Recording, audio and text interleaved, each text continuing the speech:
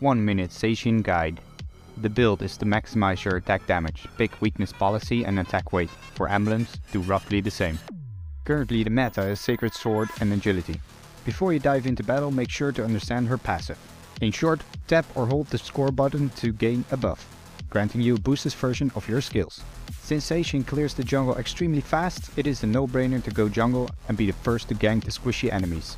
Whilst ganking, avoid this route, as they will just run away from you. A proper gank is to walk around your enemy. If not completely possible, then you could always use agility to close the gap. Charge your passive, a double sacred sword and finish them off with an auto attack.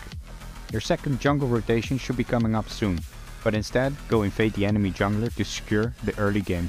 Keep on fighting the enemies and micromanage your energy to be above 5. Finally the Unite move. It gives you a shield when tapping it, so use it wisely.